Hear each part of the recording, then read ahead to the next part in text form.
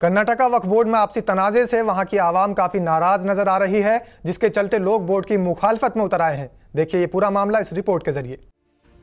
Karnataka state वक्फ board में एक तनाजा ज़ोर पकड़ता हुआ दिखाई दे रहा है। बोर्ड के सीईओ ने बिना बोर्ड की इजाज़त के एक सर्कुलर जारी कर मतात वक्फ इदारों को बताया कि कोरोना वायरस के लिए सीएम रिलीफ फंड में पैसे जमा करें। जब इस गैर कानूनी सर्कुलर का पता आवाम को चला तो इसकी मुखालिफत होने लगी और मुखालिफत के बाद सीईओ ने सर्कुलर को वापस ले लिया। इस मामले पर एसडीपीआई पार्टी ने ये कहा की वक्फ बोर्ड में सब कुछ ठीक नहीं है। एसडीपीआई लीडर अब्दुल हनान ने यह तक कह दिया है की अगर बोर्ड की कमेटी ऐसी काम नहीं हो रहा है तो वो बोर्ड ऐसी इस्तीफा दे दे। या फिर बोर्ड अरकान अपनी आपसी इख्तलाफ को नजरअंदाज कर बोर्ड पर ध्यान दे।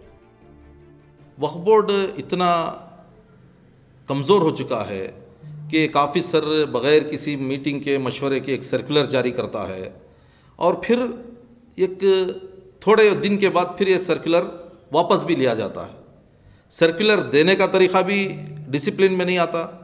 सर्कुलर वापस लेने का तरीक़ा भी सही नहीं है।